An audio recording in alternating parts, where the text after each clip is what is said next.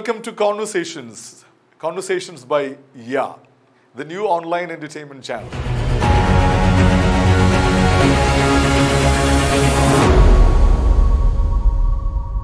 ഇന്നത്തെ ദിവസം ഞങ്ങൾക്ക് എല്ലാവർക്കും ഭയങ്കര സന്തോഷമുള്ളൊരു ദിവസമാണ്. കാരണം ഇന്ന് ഞങ്ങളൊരു പുതിയ ഒരു ആഘോഷം ആരംഭിക്കുന്നു. നിങ്ങൾക്കെല്ലാവർക്കും വേണ്ടിയിട്ട്. ആ ആഘോഷത്തിൽ നമ്മളോടൊപ്പം ഇന്ന് പങ്കുചേരുന്നത് വളരെ സുന്ദരനായൊരു ഒരു ചെറുപ്പക്കാരനാണ്. അല്ലെങ്കിൽ ചെറുപ്പം കാത്തു സൂക്ഷിക്കാൻ അധികമൊന്നും പ്രയാസപ്പെടാതെ തന്നെ കഴിയുന്ന ഒരു വളരെയധികം കാലമായിട്ട് പരിചയമുള്ള സമൂഹത്തിൽ പ്രത്യേകിച്ച് കേരള സമൂഹത്തിൽ വളരെയധികം പരിചിതമായ ഒരു മുഖമാണ്. We have great pleasure in inviting to Conversations the one and only Jibu Paul Jibu welcome to Conversations Thank you, my dear friend Sujil. വളരെയധികം സന്തോഷം ജിബു. ജിബു നമ്മുടെ ഈ ഒരു ചാറ്റ് ഷോയിലേക്ക് വരാൻ കഴിഞ്ഞതിൽ ജിബൂരും ഒരു ഒരു ബഹുമുഖ പ്രതിഭ എന്ന് പറയുന്ന വാക്യത്തിന് കറക്റ്റ് ഫിറ്റ് ആയിട്ടൊരു ആളാണ് അത് എങ്ങനെയാന്ന് വെച്ചാൽ വെറുതെ ഞാനൊരു ഒരു ആലങ്കാരിക പദം യൂസ് ചെയ്തതല്ല. കാരണം വെച്ചാൽ ജിബു ഒരു ഫാമിലി മാൻ ആണ്. ജിബു ഒരു ഔട്ട് ആൻഡ് ഔട്ട് പ്രൊഫഷണൽ ആണ്. അറ്റ് ദ സെയിം ടൈം ജിബുവിന്റെ ഒരു ഫിലാൻത്രോപിക് ആക്ടിവിറ്റീസ് അതായത് സാമൂഹിക ആ, പരമായിട്ടുള്ള ഇടപെടലുകൾ സാമൂഹ്യ സേവനം പല ക്ലബുകൾ വഴി പല അസോസിയേഷനുകൾ അതിന്റെ കൂട്ടത്തിൽ സിനിമയിലും അഭിനയിക്കുന്നു. അപ്പൊ ഇതൊരു ഇതൊരു ഭയങ്കരമായിട്ടുള്ള ഒരു ഒരു കോമ്പിനേഷനാണ് ഇത് how do you how do you find time for all Jibu? Sujil first of all എല്ലാവർക്കും നമസ്കാരം. ഇങ്ങനെ ഒരു പ്രോഗ്രാം എനിക്ക് തോന്നുന്നത് ആപ്റ്റ് ടൈമിൽ തന്നെയാണ് ഇത് തുടങ്ങാനായിട്ട് തീരുമാനിച്ചിരിക്കുന്നത്. കാരണം ഇനി the happening thing is or the thing is online no doubt തീർച്ചയായും. അപ്പോ ഇങ്ങനെ ഒരു സംരംഭം എനിക്ക് തോന്നുന്നു കറക്റ്റ് സമയത്ത് തന്നെയാണ് സുജിലും സുജിലിന്റെ ടീമും ഇത് തുടങ്ങാനായിട്ട് തീരുമാനിച്ചത്. അപ്പോ ഈ ഒരു സംരംഭത്തിന് എല്ലാവിധ ആശംസകളും നേർന്നുകൊണ്ട് നമുക്ക് തുടങ്ങാം. Thank you thank you so much പിന്നെ സുജിൽ പറഞ്ഞതുപോലെ അങ്ങനെ അത്ര ആ ഒരു രീതിയിലുള്ള ഒരു ബഹുമുഖ പ്രതിഭയാണെന്ന് എനിക്ക് തോന്നുന്നില്ല. പക്ഷെ എന്നാൽ ആകും വിധത്തിൽ എന്ത് വന്നു കഴിഞ്ഞു കഴിഞ്ഞാലും അത് സ്വീകരിക്കുക എന്നുള്ളൊരു ഒരു നയം ഞാനത് ചെറുപ്പത്തിലെ ശീലിച്ചതൊന്നുമല്ല. വളർന്നു വരുന്ന കാരിയർ പാത്തിൽ വന്ന പല ഓർഗനൈസേഷനുകളിലും അവിടുന്ന് ആർജിച്ച പല പ്ലാനിങ് ആക്ടിവിറ്റീസിന്റെയും ഫലമായിട്ട് ഞാൻ വളർത്തിയെടുത്ത ഒരു ഒരു ശരിക്കും പറഞ്ഞു കഴിഞ്ഞു കഴിഞ്ഞാൽ ഒരു സ്വഭാവം എന്ന് തന്നെ പറയാം.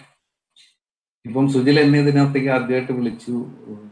ഞാൻ ഇല്ലാത്തൊരിക്കലും ഞാൻ പറയില്ല. എന്ത് കാര്യത്തിന് ആര് വിളിച്ചു കഴിഞ്ഞാലും എനിക്ക് ചെയ്യാൻ പറ്റും എന്നുള്ളതാണ്. അപ്പൊ അത് അതിന് സമയം കണ്ടെത്തുന്നതെന്ന് ചോദിച്ചു കഴിഞ്ഞാൽ നമ്മുടെ കോർ അല്ലാതെ ബാക്കി എല്ലാ കാര്യങ്ങളിലും നമ്മളൊരു സമയബന്ധിതമായിട്ട് മാത്രമേ അത് ഇൻവോൾവ് ചെയ്യാൻ അതാണ് എപ്പോഴും എല്ലാവരും ശ്രദ്ധിക്കേണ്ട കാര്യം. ഇപ്പൊ എന്നെ സംബന്ധിച്ചിടത്തോളം എന്റെ കോർ പ്രൊഫഷൻ എന്ന് പറഞ്ഞു കഴിഞ്ഞാൽ ഞാനൊരു ബ്രാൻഡ് സ്ട്രാറ്റജിസ്റ്റ് ആണ്. അപ്പോൾ എന്റെ ക്ലയൻസിന് വേണ്ടിയിട്ടാണ് കൂടുതൽ സമയം ഞാൻ ചെലവാക്കുന്നത്. അതേസമയം അതിനെല്ലാത്തിനും ഒരു സമയപരിധി നിശ്ചയിച്ചുകൊണ്ട് തന്നെയാണ് ഞാൻ ഇടപെടാറ്. ഇപ്പോൾ എനിക്കുള്ള ക്ലയൻസിനാണെങ്കിൽ ഞാൻ ഒരിക്കലും ഒരു രണ്ട് മീറ്റിംഗ് ഒരു ദിവസം എടുക്കാറില്ല. നമുക്ക് സമയമുണ്ട് അത് കൃത്യമായിട്ട് പ്ലാൻ ചെയ്ത് ഒന്നുമില്ലെങ്കിൽ ഉച്ചയ്ക്ക് മുന്നേ അല്ലെങ്കിൽ ഉച്ച കഴിഞ്ഞ് ക്ലയന്റിന്റെ സൗകര്യം അനുസരിച്ചിട്ട് ഒരു മീറ്റിംഗ് ഞാൻ ഒരു ദിവസം എടുക്കാറുള്ളൂ. അതെന്റെ പ്രൊഫഷണൽ സൈഡ്. അതിന് കൂടുതൽ ആത്മാർത്ഥതയോടു കൂടിയും അതിനുവേണ്ടി സകല രീതിയിലുള്ള തയ്യാറെടുപ്പുകളോടും കൂടിയാണ് ക്ലയന്റിനെ മീറ്റ് ചെയ്യാനായിട്ട് പോകുന്നത്. ബാക്കിയുള്ള സമയം തീർച്ചയായിട്ടും നമ്മളെല്ലാവരും ഒക്കെ ചെയ്യുന്ന പോലെ നമ്മുടെ ബോഡി തന്നെയാണ് നമ്മുടെ സ്വത്ത് ബോഡിക്ക് വേണ്ടിയിട്ട് കുറച്ച് കാര്യങ്ങളൊക്കെ നമ്മൾ തീർച്ചയായിട്ടും ചെയ്യണം അപ്പോൾ ഞാൻ അതിന്റെ ഇടയിലൊന്ന് ഇടപെടുകയാണ്. അതായത് ജിബു ബഹുമുഖ പ്രതിമയല്ലെന്ന് വളരെ വിനയത്തോടെ പറഞ്ഞു. പക്ഷേ അത് അല്ല അത് തിരിച്ചാണെന്ന് സ്ഥാപിക്കാൻ എന്റെ കയ്യിൽ ഇഷ്ടംപോലെ ചരിത്ര രേഖകളുണ്ട് കാരണം എന്ന് പറഞ്ഞാൽ you are very active member പഴയ പ്രസിഡന്റാണ് ഒരു ഒരു ഒരു വോളണ്ടറി സർവീസ് ഓർഗനൈസേഷൻ റോട്ടറി പോലെ. അത് മാല- മാത്രമല്ല കേരളക്കരയിലെ മൊത്തം ബിസിനസ്സുകളെ ക്രോഡീകരിക്കുന്ന കേരള മാനേജ്മെന്റ് അസോസിയേഷന്റെ പ്രസിഡന്റ് കൂടിയാണ്. ഈ വളരെ ചെറുപ്പകാലത്ത് തന്നെ അങ്ങനെ ഒരു ഒരു സ്ഥാനലബ്ധി വരാനായിട്ട് വെറുതെ ആർക്കും ആ ലെവലിലേക്ക് വരില്ലല്ലോ. ഒരു ബിസിനസ് രംഗത്ത് അത് അത്യാവശ്യം ആ രംഗത്ത് ഒരു പ്രതിഭ തെളിയിച്ചിട്ടുള്ള ഒരാളായത് കൊണ്ട് തന്നെയാണ് അതിന്റെ നേതൃനിരയിലേക്ക് വരാൻ കഴിഞ്ഞിട്ടുള്ളത്. അപ്പോൾ ആ ഈ ചെറുപ്പത്തിലെ അങ്ങനെ ഒരു ഒത്തിരി മുതിർന്ന ആളുകൾ ഉള്ള ഒരു ഒരു വേദിയിൽ ഈ ചെറുപ്പത്തിലെ വരാൻ കഴിഞ്ഞത് അതൊരു യാദൃശികമാണോ? അതോ അതിലേക്ക് എന്തെങ്കിലും തരത്തിലുള്ള ഒരു ഒരു കോഴ്സ് ഉണ്ടായിരുന്നോ? Was uh a course of action that led you to be on that platform അത് ഒരിക്കലും ഒരു യാദൃച്ഛികമായി സംഭവിച്ചതല്ല. തീർച്ചയായിട്ടും കേരള മാനേജ്മെന്റ് അസോസിയേഷൻ എന്ന് പറയുന്ന ഒരു പ്രീമിയർ അസോസിയേഷൻ ഏകദേശം ഇരുന്നൂറ്റി അൻപതോളം കോർപ്പറേറ്റ് മെമ്പേഴ്സും ആയിരത്തി അഞ്ഞൂറിലധികം ഇൻഡിവിജ്വൽ പ്രൊഫഷണൽസും ഉള്ളൊരു അസോസിയേഷനാണ് കേരള മാനേജ്മെന്റ് അസോസിയേഷൻ ആയിരത്തി തൊള്ളായിരത്തി അൻപത്തി ഏഴിൽ സ്റ്റാർട്ട് ചെയ്തു. ഞാൻ അറുപത്തി മൂന്നാമത്തെ പ്രസിഡന്റാണ് കേരള മാനേജ്മെന്റ് അസോസിയേഷന്റെ തീർച്ചയായിട്ടും നമ്മുടെ ഒരു പ്രൊഫഷണൽ എക്സലൻസ് മാത്രമേ സംഭവിക്കാൻ the president of Kerala management association ഞാൻ എന്റെ ചെറുതായിട്ട് പറയുകയാണെങ്കിൽ ഞാൻ എഞ്ചിനീയറിംഗ് കഴിഞ്ഞിട്ട് ഞാൻ കുറച്ച് നാൾ കോയമ്പത്തൂർ വർക്ക് ചെയ്തിരുന്ന ഒരു പ്രൊഡക്ഷൻ ഫെസിലിറ്റിയിൽ അത് കഴിഞ്ഞിട്ട് എൻജിനീയറിങ്ങിനേക്കാളും കുറച്ചും കൂടി നല്ല ലൈൻ മാനേജ്മെന്റ് ആണ് എന്ന് തിരിച്ചറിവുണ്ടായപ്പോൾ ഞാൻ മദ്രാസിൽ പോവുകയും അവിടുന്ന് പോസ്റ്റ് ഗ്രാജുവേഷൻ ബിസിനസ് അഡ്മിനിസ്ട്രേഷനിൽ എടുക്കുകയും ചെയ്ത് അവിടെ കുറച്ച് നാൾ ജോലി ചെയ്തു മദ്രാസിൽ ഇപ്പോഴത്തെ ചെന്നൈയിൽ. അത് കഴിഞ്ഞ് അവിടെ നിന്ന് തിരികെ വന്ന് ഇവിടെ അണ്ണ അലുമിനിയം കമ്പനിയിൽ കുറച്ച് നാൾ വർക്ക് ചെയ്തു. അത് കഴിഞ്ഞ് കരിയറിൽ ശരിക്കും ഒരു ബ്രേക്ക് ഉണ്ടായത് തൊണ്ണൂറ്റി ആറിൽ ഞാൻ കല്യാണം കഴിക്കുകയും കല്യാണത്തിന് ശേഷം ഞാൻ വി ഗാർഡ് ഇൻഡസ്ട്രീസിൽ ജോയിൻ ചെയ്യുകയും ചെയ്തപ്പോഴാണ് ശരിക്കും എന്റെ പ്രൊഫഷണൽ കരിയറിലൊരു ഒരു ശരിക്കും ഒരു കരിയർ ബ്രേക്ക് ഉണ്ടായത്. അപ്പൊ അവിടെ വെച്ചിട്ട് നമുക്ക് എല്ലാവർക്കും അറിയാം ബീഹാറിലെ ശ്രീ കൊച്ചോ ചിറ്റ്ലിപ്പള്ളി സാറിന്റെ പാഠകങ്ങളും കേരളം പോലെയുള്ള ഒരു സ്ഥലത്ത് പ്രത്യേകിച്ചും ഇലക്ട്രിസിറ്റി ഷോർട്ടേജിൽ നിന്നാണ് സ്റ്റെബിലൈസർ എന്ന് പറയുന്ന ഒരു പ്രോഡക്റ്റ് ഉണ്ടാവുന്നത്. ആ- പ്രോഡക്റ്റിനെ കേരളത്തിലെ വളരെയധികം പ്രിയങ്കരമായ ഒരു ഒരു പ്രോഡക്റ്റും ഒരു വീഗാർഡ് എന്ന് പറയുന്ന ഒരു ബ്രാൻഡാക്കി എടുക്കാൻ ശ്രമിച്ച അദ്ദേഹത്തിന്റെ നിഴലായി ഏകദേശം ഒരു പതിമൂന്ന് വർഷത്തോളം കൂടെ വർക്ക് ചെയ്യാനായിട്ട് ഉള്ള ഭാഗ്യം എനിക്ക് ഉണ്ടായിട്ടുണ്ട് അപ്പോ ഞാനവിടെ മൊത്തം വീഗാർഡ് ഗ്രൂപ്പിന്റെ എല്ലാ ബ്രാൻഡുകളും കൈകാര്യം ചെയ്തിരുന്നത് അതിന്റെ ബ്രാൻഡ് ഹെഡായിട്ടാണ് ഞാൻ വർക്ക് ചെയ്തിരുന്നത്. പതിമൂന്ന് വർഷം വർക്ക് ചെയ്തിട്ടുണ്ട്. അപ്പൊ ആ അവസരത്തിൽ എല്ലാം കൊച്ചോസേബ് സാറിന്റെ പല ബിസിനസ് പാഠവങ്ങളും അദ്ദേഹം ബിസിനസ്സിൽ സ്വീകരിക്കുന്ന അർക്കശകമായ ചില നടപടികളും അതായത് നോ പറയേണ്ടടുത്ത് നോ പറയാനും വേണ്ട എന്ന് വെക്കേണ്ട സ്ഥലങ്ങളിൽ വേണ്ട എന്ന് വെക്കുവാനും അദ്ദേഹത്തിനുള്ള ആ ഒരു ഒരു ധൈര്യം അത് അങ്ങനെ തന്നെ പറയണം. അതൊരു ഒരു ധൈര്യമാണ്. പല ബിസിനസ് ഇല്ലാത്ത ഒരു ഒരു കാര്യമാണ്. അപ്പൊ ആ ധൈര്യത്തിൽ ആ, ധൈര്യം കണ്ടാണ് ശരിക്കും ഞാൻ എന്റെ പ്രൊഫഷൻ സ്റ്റാർട്ട് ചെയ്യുന്നത്. ആ ഒരു പ്രൊഫഷനിൽ നിൽക്കുമ്പോൾ ബിഗാഡ് ഏഴ് രണ്ടായിരത്തി ആറ് രണ്ടായിരത്തി ഏഴ് കാലഘട്ടത്തിലാണ് കേരള മാനേജ്മെന്റ് അസോസിയേഷനെ പറ്റി അറിയുന്നതും ബിഗാർഡ് ക്ലോസ്ലി അസോസിയേറ്റ് ചെയ്തിരുന്നു അപ്പോൾ ഞാൻ ആ സമയത്താണ് കെ എം എട്ട് അസോസിയേറ്റ് ചെയ്യുകയും കെ എം എൽ മെമ്പർഷിപ്പ് രണ്ടായിരത്തി എട്ടിൽ എടുക്കുകയും അത് കഴിഞ്ഞിട്ട് കെ എം എയുടെ എല്ലാ കാര്യങ്ങളും സജീവമായിട്ട് പ്രവർത്തിക്കുകയും ബിഗാർഡിന്റെ കോർപ്പറേറ്റ് സപ്പോർട്ടോട് കൂടി കെ എം എൽ പല സ്ഥാനങ്ങൾ ഏറ്റെടുക്കുകയും കെ എം എയുടെ മെമ്പേഴ്സിന് വേണ്ടിയിട്ട് പല കാര്യങ്ങൾ ചെയ്യാൻ സാധിക്കുകയും സാധിച്ചു. അത് അതോടുകൂടി കെ എം എൽ ഇലക്ഷന് നിൽക്കുകയും കെ എം എയുടെ മാനേജിങ് കമ്മിറ്റി മെമ്പറായിട്ട് വിജയിക്കുകയും ചെയ്തു. എനിക്ക് തോന്നുന്നു ഒരു പത്ത് വർഷത്തോളം കെ എം എയിൽ ഇലക്ഷന് മത്സരിച്ച് ജയിച്ച് കെ എം എയുടെ എല്ലാ പ്രവർത്തനങ്ങളിലും അതായത് കെ എം എ എന്തൊക്കെ കാര്യങ്ങൾ ചെയ്യുന്നുണ്ടോ മാനേജ്മെന്റ് പ്രൊഫഷൻസിന് വേണ്ടി ചെയ്യുന്നുണ്ടോ അതിന്റെ എല്ലാ കാര്യങ്ങളിലും കയറി ഇറങ്ങി. നമുക്ക് എക്സിക്യൂട്ടീവ് കൗൺസിലിൽ ജോയിന്റ് സെക്രട്ടറി തൊട്ടിട്ട് joint secretary secretary treasurer vice president senior vice president അത് കഴിഞ്ഞിട്ടാണ് പ്രസിഡന്റ്. ആ എല്ലാ സ്ഥാനങ്ങളിലും ഞാൻ വർക്ക് ചെയ്ത് ഈ കഴിഞ്ഞ വർഷം കേരള മാനേജ്മെന്റ് അസോസിയേഷന്റെ അറുപത്തിമൂന്നാമത്തെ പ്രസിഡന്റായിട്ട് സ്ഥാനമേൽക്കാണ് ഉണ്ടായത്.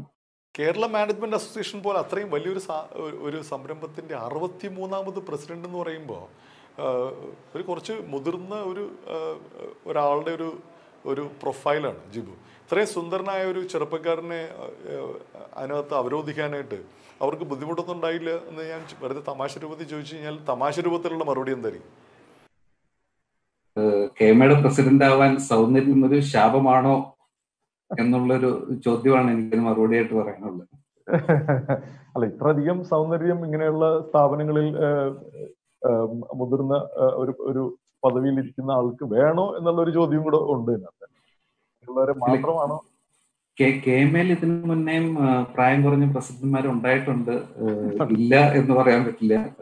പ്രായം പ്രായം കുറവ് പ്രായം കുറവ് എന്ന് പറഞ്ഞ് സുജിൽ എന്നെ ഒരു പഴയ കുട്ടിത്തത്തിലേക്ക് എന്നെ കൊണ്ടുപോകരുത്. പ്ര- പ്രായമൊക്കെ ഉണ്ട്. പ്രായം ഇല്ല എന്ന് പറയാൻ പറ്റില്ല. പിന്നെ പ്രായം അത്രയൊന്നും പറയുന്നില്ല എങ്കിലും പ്രായമൊക്കെ ഉണ്ട്. പക്ഷെ പ്രായം കുറഞ്ഞ പ്രസിഡന്റ്മാരും ഒത്തിരി പേര് പ്രസിഡന്റ്മാരായിട്ടുണ്ട് പ്രായം കുറഞ്ഞു അതല്ല അതിന്റെ ക്രൈറ്റീരിയ അതല്ല. കെ എം എ പറ്റി വ്യക്തമായിട്ട് മനസ്സിലാക്കുക ഞാൻ പറഞ്ഞില്ലേ ഞാൻ നേരത്തെ കെ കെമയിൽ എത്തി ഏകദേശം പത്ത് വർഷത്തോളം കെ എം എയുടെ ഇൻ ആൻഡ് ഔട്ട് പ്രൊഫഷൻസിന് വേണ്ടി കെ എം എന്തെല്ലാം ആക്ടിവിറ്റീസ് ചെയ്യുന്നു.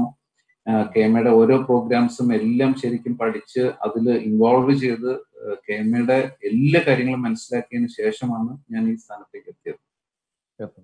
മനസ്സിലായി. അല്ല അതിനകത്ത് ഒരു ഒരു ചോദ്യം ഉള്ളതെന്ന് പറഞ്ഞാൽ ഏഹ്, ഇപ്പൊ കെ എം എ വിട്ടിട്ടുള്ളത് നമ്മൾ ഈ ഓർഗനൈസേഷണൽ ഒരു പാഠമോ അത് ശരിക്കും പറഞ്ഞാൽ എല്ലാവർക്കും കിട്ടുന്ന ഒരു കാര്യമല്ല. ഒരു ഓർഗനൈസേഷണൽ ലീഡർഷിപ്പ് എന്ന് പറയുന്നത്.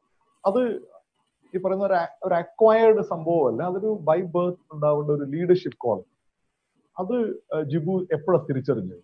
കാരണം ജിബു ഇതിന്റെ മാത്രമല്ല വേറെയും ഓർഗനൈസേഷൻസിന്റെ നേതൃത്വത്തിലൊക്കെ ഉണ്ടായിരുന്ന ഒരാളാണ്. അപ്പൊ ഇത് വളരെ ചെറുപ്പത്തിലേ ഉണ്ടായിരുന്ന ഒരു സംഭവമാണോ? അതോ പിൽക്കാലത്ത് നമ്മുടെ ജോലി സംബന്ധമായിട്ടും ജോലി സംബന്ധമായിട്ട് സമൂഹത്തിൽ അറിയപ്പെടേണ്ട ഒരു ആവശ്യകത എത്തുന്ന ഒരു പർട്ടിക്കുലർ പോയിന്റ് നമുക്ക് ഒരു സോഷ്യൽ നെറ്റ്വർക്ക് അല്ലെങ്കിൽ ഒരു ബിസിനസ് നെറ്റ്വർക്ക് അങ്ങനെയൊക്കെയുള്ള ഒത്തിരി സാധ്യതകളുണ്ടല്ലോ. ഇപ്പൊ നമുക്ക് ഇപ്പൊ ഉള്ളതുപോലെ അല്ലല്ലോ ഒരു ഒരു പതിനഞ്ചോ ഇരുപത് കൊല്ലം മുമ്പുള്ള ഒരു നെറ്റ്വർക്കിംഗ് പോസിബിലിറ്റി അങ്ങനെയൊക്കെ ആണോ ഇതിലേക്കുള്ള ഒരു വരവ്? അപ്പം അതൊരു നാച്ചുറൽ പ്രോസസ് ആയിരുന്നു? അതൊരു നാച്ചുറൽ പ്രോസസ് അല്ലായിരുന്നു. ശരിക്കും പറഞ്ഞു കഴിഞ്ഞാൽ അതിന്റെ നൂറ് ശതമാനം ക്രെഡിറ്റും എനിക്ക് തോന്നുന്നത് അത് ജോസഫ് ചിറ്റ്ലപ്പിലെ സാറിന് തന്നെയാണ്.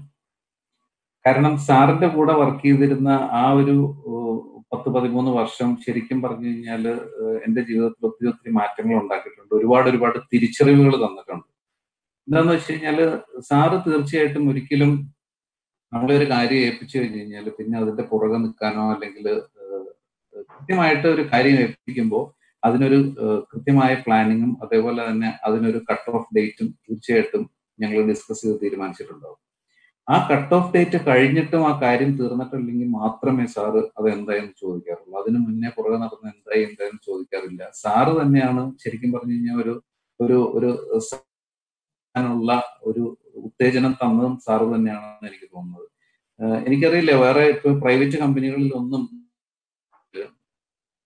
സുജിൽ ആദ്യമേ പറഞ്ഞല്ലോ ഞാൻ സിനിമയിൽ അഭിനയിച്ചിട്ടുണ്ട് എന്ന് പറഞ്ഞു. ഈ സിനിമയിലൊക്കെ അഭിനയിക്കുന്നതിന് മുന്നേ എനിക്ക് തോന്നുന്ന ഏതാണ്ട് തൊണ്ണൂറ്റി എട്ട് തൊണ്ണൂറ്റൊമ്പത് കാലഘട്ടങ്ങളിൽ നമ്മുടെ ബി പി എൽ മൊബൈൽ ഒരു ഒരു സബ് മോഡലായിരുന്നു ഞാൻ.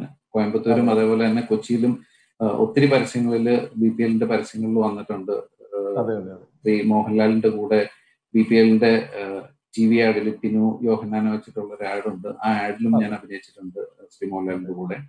അപ്പോ അന്ന് ഞാൻ വിഗാർഡിൽ കയറിയിട്ട് ഒരു നാല് വർഷം ആയിട്ടുള്ളൂ. ഒരു പ്രൈവറ്റ് ഒരു ഒരു അത്യാവശ്യം സീനിയർ ആയിട്ട് വർക്ക് ചെയ്യുന്ന ഒരാൾ ഒരിക്കലും ഒരു മോഡലാവാനോ അല്ലെങ്കിൽ ഒരു ടി വി പരസ്യത്തിൽ അഭിനയിക്കാനോ ഒരു സിനിമയിൽ അഭിനയിക്കാനോ ഒന്നും ആരും വിടാറില്ല.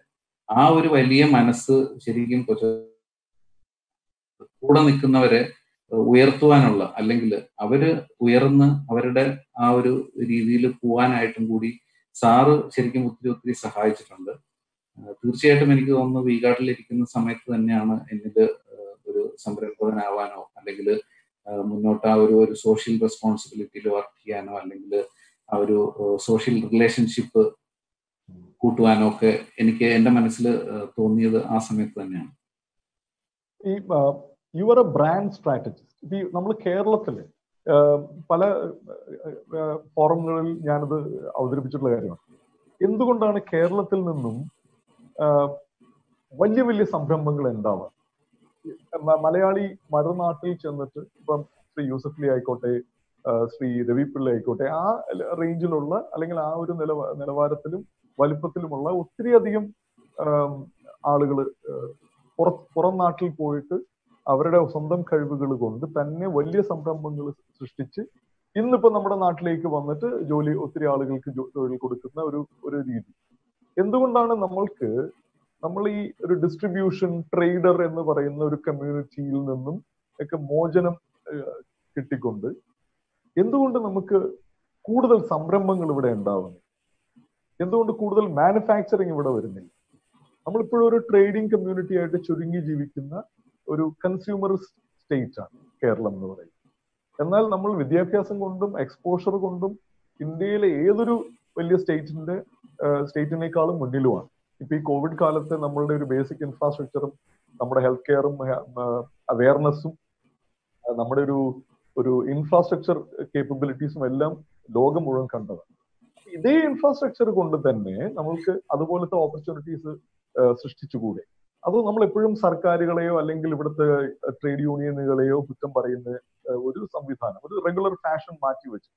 ഇതൊക്കെ ഒരു സിസ്റ്റമാണ് ആ സിസ്റ്റം നമ്മളൊരു ബിസിനസ് ചെയ്യുന്നത് പോലെ തന്നെ ഈ സിസ്റ്റത്തെ കൈകാര്യം ചെയ്യാനുള്ള ഒരു കേപ്പബിലിറ്റിയും കൂടെ നമ്മൾക്കുണ്ടാവും അങ്ങനത്തെ ഒരു ധൈര്യം ഇല്ലാത്തതാണോ നമ്മളുടെ സ്വന്തം നാട്ടിൽ നിന്നും ആളുകൾക്ക് വലിയ സംരംഭകരായി മാറാൻ പറ്റാത്ത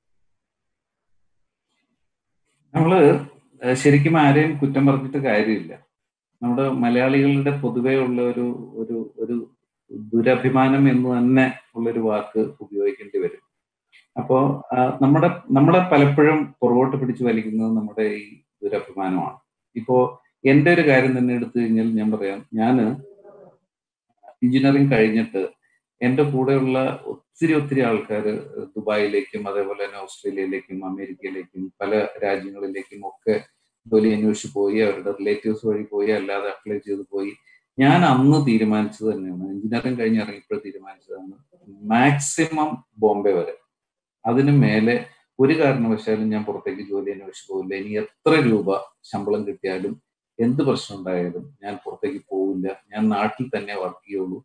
അല്ലെങ്കിൽ നാട്ടിൽ എന്തെങ്കിലും സംരംഭം തുടങ്ങുള്ളൂ. ആ ഒരു തീരുമാനം എന്റെ സ്വന്തം തീരുമാനം തന്നെയായിരുന്നു. അതിൽ നിന്ന് ഞാൻ വ്യതിചലിച്ചിട്ടില്ല. ഞാൻ പുറത്തേക്ക് ഒത്തിരി ഒത്തിരി ഒത്തിരി ഓപ്പർച്യൂണിറ്റീസ് വന്നിട്ടുണ്ട്. പ്രത്യേകിച്ചും വിഗാഡിൽ ഇരിക്കുന്ന സമയത്താണെങ്കിലും അഡ്വർടൈസിംഗിലും ബ്രാൻഡിങ്ങിലും ഒക്കെ ഇരിക്കുന്ന സമയത്താണെങ്കിലും ഒത്തിരി ഓപ്പർച്യൂണിറ്റീസ് വെളിയിലേക്കെല്ലാം വന്നിട്ടുണ്ട്. ഞാൻ പോയിട്ടില്ല. അത് നമ്മൾ മലയാളികൾ പല പലപ്പോഴും നമുക്ക് പുറത്തു പോയി വർക്ക് ചെയ്താലേ നമുക്ക് കുറച്ചും കൂടി കംഫർട്ടബിൾ ആയിട്ട് കൂടുതൽ ഇൻകം കിട്ടി നമുക്ക് വേറെ ആരും അറിയാത്ത തൊഴിൽ ചെയ്യാനായ പോയാൽ മാത്രമേ നമ്മുടെ സ്റ്റാറ്റസിന് പറ്റി ജോലി കിട്ടുള്ളൂ എന്നുള്ള ഒരു ഒരു ദുരഭിമാനം നമുക്ക് ഉണ്ടായിരുന്നു പക്ഷേ ഈ കോവിഡ് കാലം അതിനെല്ലാം ഒത്തിരി ഒത്തിരി ഒത്തിരി മാറ്റങ്ങൾ വരുത്തും എന്നുള്ളത് തന്നെയാണ് എനിക്ക് തോന്നുന്നത്. കാരണം നമ്മൾ ഇപ്പോ ആരുടെ കാര്യം എടുത്തു കഴിഞ്ഞു കഴിഞ്ഞാലും എല്ലാവരും ഒരു ഓൾട്ടർനേറ്റീവ് ഇൻകത്തിന് വേണ്ടി അല്ലെങ്കിൽ ഒരു ഓൾട്ടർനേറ്റീവ് എൻഗേജ്മെന്റിന് വേണ്ടി എന്ത് പണി വേണമെങ്കിലും ചെയ്യാം എന്നുള്ള ഒരു ഒരു ഒരു രീതിയിലേക്ക് എല്ലാവരും മാറിയിട്ടുണ്ട്. അത് മാത്രമല്ല ആർക്കും ഇപ്പൊ എന്ത് കാര്യം ചെയ്യാനും ഒരു നാണക്കേടോ അല്ലെങ്കിൽ ഒരു ഞാൻ ആദ്യം പറഞ്ഞ ആ ഒരു ഒരു ആറ്റിറ്റ്യൂഡിനോ ഒത്തിരി ഒത്തിരി ഒത്തിരി വ്യത്യാസം വന്നിട്ടുണ്ട്. അത് ഇനി വ്യത്യാസം വരും. സുജിൽ പറഞ്ഞ പോലെ നമുക്കിവിടെ ഒത്തിരി ഒത്തിരി സംരംഭങ്ങളുണ്ട്. വി ഗാർഡ് പോലത്തെ അല്ലെങ്കിൽ ഈസ്റ്റേൺ പോലത്തെ ഒത്തിരി ഒത്തിരി വലിയ വലിയ സംരംഭങ്ങളുണ്ട്. പക്ഷേ ഈ പറഞ്ഞ പോലെ യൂസഫ് അലി സാറോ അല്ലെങ്കിൽ രാജൻപിള്ള സാറോ അവരൊക്കെ അവരുടെ ഒരു ആ കാലത്തെ ഒരു ഒരു റിക്വയർമെന്റ് ആയിരുന്നിരിക്കാം. അവർ വെളിയിൽ പോയി അവിടെ അവർ വളരെ വലിയ രീതിയിൽ വളർന്നു. അത് കഴിഞ്ഞപ്പോൾ അവർക്ക് എല്ലാവർക്കും എന്തായാലും നമുക്ക് നാടിനോടൊരു താല്പര്യം എല്ലാവർക്കും ഉണ്ടാവും. മലയാളിയാണെങ്കിലും ഇന്ത്യക്കാരനാണെങ്കിലും. അപ്പൊ അവരൊക്കെ അങ്ങനെ തിരിച്ചു വന്നു എന്നുള്ളത് നമ്മുടെ ഒരു ഭാഗ്യം തന്നെയാണ്. അത് മാത്രമല്ല കേരളത്തിൽ ഒത്തിരി ഒത്തിരി സംരംഭങ്ങളുണ്ട്. ഒരു ബ്രാൻഡ് സ്ട്രാറ്റജിസ്റ്റ് എന്നുള്ള നിലയിൽ നമ്മൾ ഞാൻ പല പുതിയ ബ്രാൻഡുകളുമായിട്ടും ഇടപഴകുമ്പോൾ ഒരു ഒരു ചെറിയ പ്രശ്നമുള്ള എന്താന്ന് വെച്ച് കഴിഞ്ഞാൽ എല്ലാവർക്കും ഒരു ഒരു സ്ഥാപനം തുടങ്ങാൻ താല്പര്യമുണ്ട്. ആ സ്ഥാപനം തുടങ്ങിയിട്ട് അതിനൊരു പേരിടും. ആ പേര് എങ്ങനെ ബ്രാൻഡ് ആക്കും എന്നുള്ളത് പലർക്കും അറിയില്ല. അത് മാത്രമല്ല ഇനി ആരോടെങ്കിലും നമ്മൾ ബ്രാൻഡ് ആക്കണം എന്ന് സംസാരിച്ചാൽ ഒരു പേരിനെ ബ്രാൻഡ് ആക്കാനായിട്ട് നമുക്ക് അധികം മാജിക് ഒന്നും കാണിക്കാൻ പറ്റില്ല. പക്ഷേ വി നീഡ് ടു ഇൻവെസ്റ്റ് നമ്മളൊരു പ്രോഡക്റ്റ് ഡെവലപ്പ് ചെയ്യാനായിട്ട് എന്തെല്ലാം ഇൻവെസ്റ്റ്മെന്റ് നടത്തുന്നോ അതേപോലെ തന്നെ ഒരു പേര് ബ്രാൻഡാക്കി മാറ്റാൻ. നമ്മളൊരു പേരിട്ടാൽ അത് ബ്രാൻഡ് ആയില്ല. അത് ആ ഒരു ആ ഒരു പേരിനൊരു ട്രസ്റ്റ് ഉണ്ടാക്കി അത് നാല് പേരിലെ അറിയിച്ച് അവർക്ക് താല്പര്യം ജനിപ്പിച്ച് അതിനൊരു ബ്രാൻഡ് നെയിം ആക്കി മാറ്റണമെങ്കിൽ തീർച്ചയായിട്ടും അതിനൊരു ഇൻവെസ്റ്റ്മെന്റ് ആവശ്യമാണ്.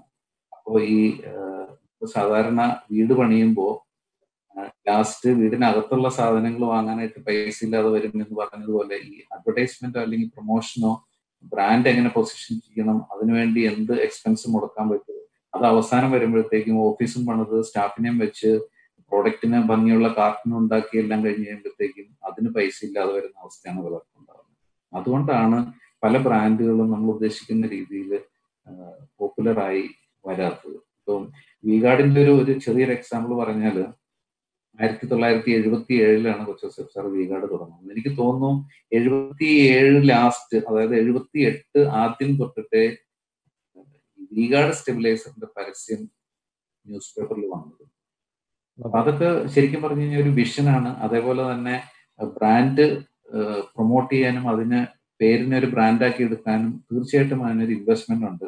അത് പല നമ്മുടെ നമ്മുടെ നമ്മുടെ ആളുകളുടെ ഒരു ഒരു പ്രശ്നം ഞാൻ കണ്ടിട്ടുള്ളത്. പ്രശ്നമല്ല ഒരു പറയാ അതൊരു ഒരു ചെറിയൊരു ലിമിറ്റേഷൻ ആണ് ആ ലിമിറ്റേഷൻ എന്ന് പറയുന്നത് മാർക്കറ്റിംഗ് അല്ലെങ്കിൽ ഒരു ബ്രാൻഡിംഗ് എന്ന് പറയുന്നത് ഒരു ചെലവായിട്ട് കൺസിഡർ ചെയ്യുന്ന ഒരു സമൂഹം ഒരു ബിസിനസ് സമൂഹം നമുക്ക് ചുറ്റും. അതൊരു ക്യാപിറ്റൽ എക്സ്പെൻഡിച്ചർ ആണ് എന്നല്ല ഒരു കാര്യം. ക്യാപിറ്റൽ എക്സ്പെൻഡിച്ചർ ഇപ്പോൾ നമ്മൾ ഒരു വെയർ ഹൗസ് തുടങ്ങുകയാണെങ്കിൽ ആ ഇപ്പൊ ഒരു വെയർ ഹൗസ് തുടങ്ങുകയാണെങ്കിൽ അതിന്റെ ബിൽഡിങ് അതിന് വേണ്ടിയുള്ള വണ്ടികൾ ഇതെല്ലാം ക്യാപിറ്റൽ ഇൻവെസ്റ്റ്മെന്റ് ആണ്. അതിനൊക്കെ പ്രശ്നമില്ല. പകരം അതിന്റെ ഫ്രണ്ടിൽ ഒരു ബോർഡ് വെക്കുന്നതിന് ഒരു അവസ്ഥ അല്ലെങ്കിൽ അതൊരു ക്യാപിറ്റൽ ഇൻവെസ്റ്റ്മെന്റ് ആയിട്ട് കരുതി അതിലേക്ക് മുതൽ മുടക്കി നമ്മൾക്ക് നമ്മൾ ക്രിയേറ്റ് ചെയ്യുന്നത് ഒരു ഒരു സ്ഥാപനമല്ല. ഒരു എന്താണ് പറയാ ഒരു വലിയൊരു എക്സ്പീരിയൻസ് ആണ് ആളുകളിലേക്ക്. ഒത്തിരി ആളുകൾക്ക് തൊഴിൽ കൊടുക്കുന്ന ഒരു ലെവലിലേക്ക് ഇതിൽ കൊണ്ടുവരണം ഒത്തിരി ആളുകൾ വഴി അനേകായിരം ആളുകളിലേക്ക്. ഇപ്പൊ വിഗാർഡ് തന്നെ. വിഗാർഡിന്റെ ഏറ്റവും വലിയ സംഭവം എന്ന് പറഞ്ഞാൽ ഞാൻ അതിനെ ഒരു സോഷ്യൽ എന്റർപ്രൈസ് ആയിട്ടാണ് കാണുന്നത്. ഒരു it's not a commercial enterprise കാരണം നമ്മുടെ നാടിന്റെ ഒരു വലിയ ലിമിറ്റേഷൻ അതായത് അന്ധകാരം. ഇടയ്ക്കിടയ്ക്കുള്ള പവർ കട്ട് മാത്രമല്ല നമ്മളുടെ കണ്ണുകൊണ്ട് നേക്കഡ് ആയി കൊണ്ട് കാണാൻ പറ്റാത്ത തരത്തിലുള്ള പവർ ഫ്ലക്ച്വേഷൻസും ഉണ്ട്. പവർ ഫ്ലക്ച്വേഷൻസ് വഴി നമ്മളുടെ ഓരോ ഗാഡ്ജറ്റ്സിനും ഉണ്ടാകുന്ന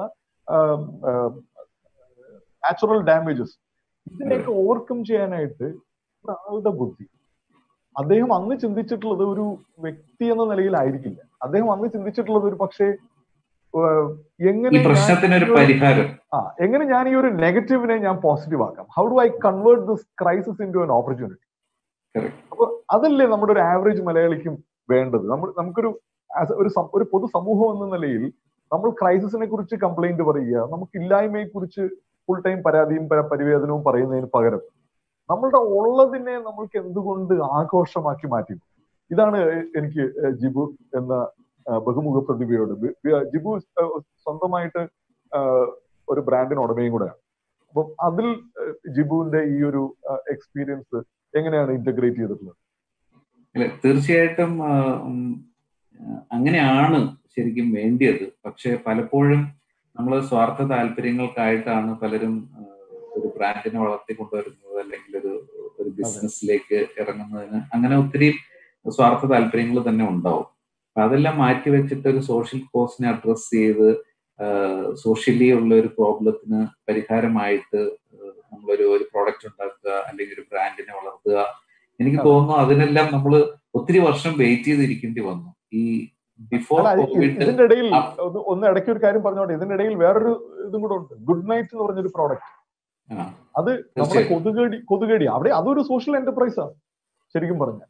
കൊതുകടി അതിനെതിരെ ഒരു സംരംഭം. അതുപോലെ നമുക്ക് നമ്മളുടേതായിട്ടുള്ള ഇൻഹറന്റ് ആയിട്ടുള്ള കുറെ അധികം ഇഷ്യൂസ് ഉണ്ട്. ഞാനതാ പറഞ്ഞു വരുന്നത്.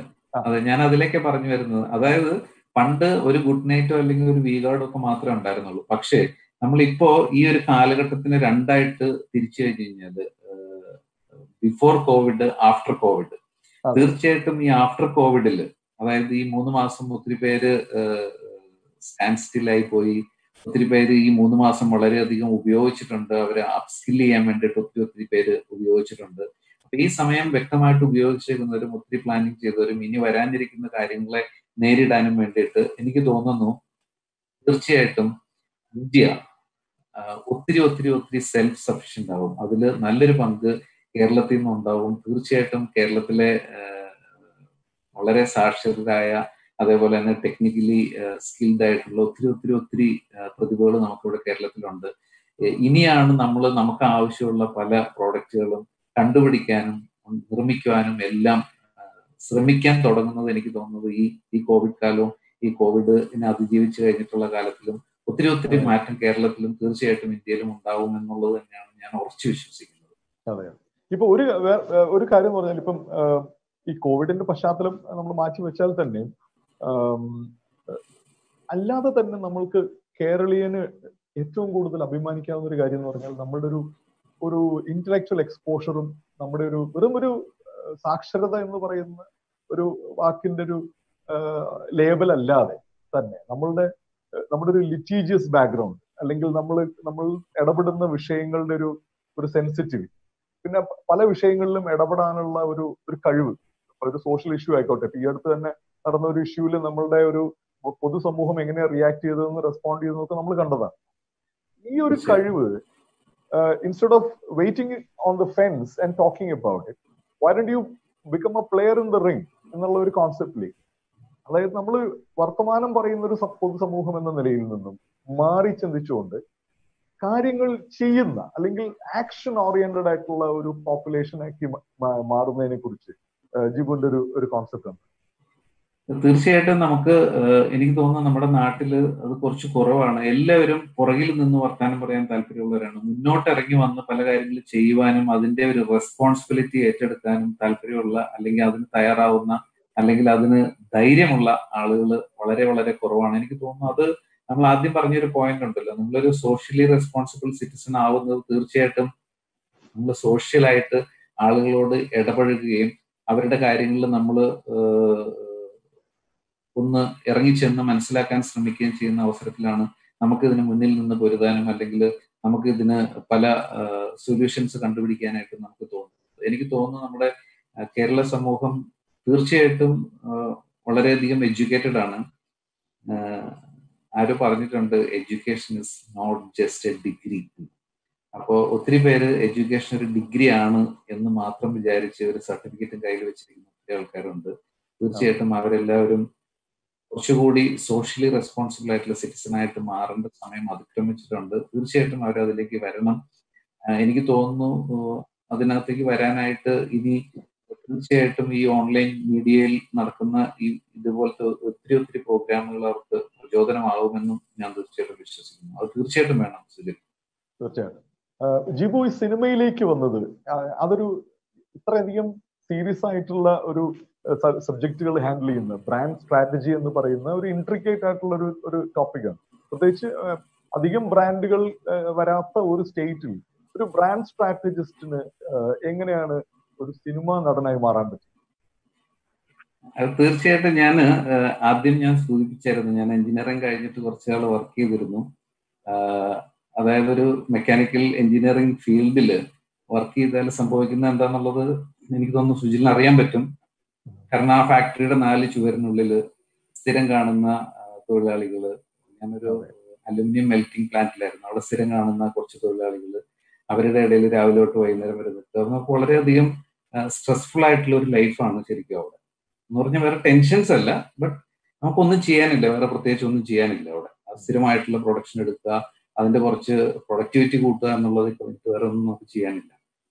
അപ്പൊ തീർച്ചയായിട്ടും എന്റെ മനസ്സിന്റെ ത്വര എപ്പോഴും പുറത്തേക്ക് ഇറങ്ങുവാനും കൂടുതൽ ആൾക്കാരെ പരിചയപ്പെടാനും അതേപോലെ തന്നെ കൂടുതൽ കാര്യങ്ങളിൽ ഭാഗഭാക്കാവാനും എല്ലാമായിരുന്നു എന്റെ ആഗ്രഹം. അതനുസരിച്ചിട്ടാണ് ഞാൻ മാസ്റ്റേഴ്സ് ബിസിനസ് അഡ്മിനിസ്ട്രേഷനിൽ എടുത്തതും അങ്ങനെ മാർക്കറ്റിംഗിലേക്ക് വന്നതും അങ്ങനെ മോഡലിംഗ് സ്റ്റാർട്ട് ചെയ്തത് മോഡലിംഗ് സ്റ്റാർട്ട് ചെയ്തത് അപ്പോൾ ആഡ് ഫിലിം മേക്കിംഗ് ഇപ്പോൾ വി ഗാർഡിന്റെ ആണെങ്കിലും ഒത്തിരി ഒത്തിരി ഒത്തിരി ആഡ് ഫിലിം ഒരു ഏകദേശം എനിക്ക് തോന്നുന്നൊരു മൊത്തം ഇത്ര വർഷത്തിനിടയിൽ ഒരു ഒരു നൂറ് നൂറ്റി ഇരുപത്തഞ്ചോളം ആഡ് ഫിലിമുകളുടെ ഭാഗവാക്കാവാനായിട്ട് സാധിച്ചിട്ടുണ്ട് പല കമ്പനികളുടെയും.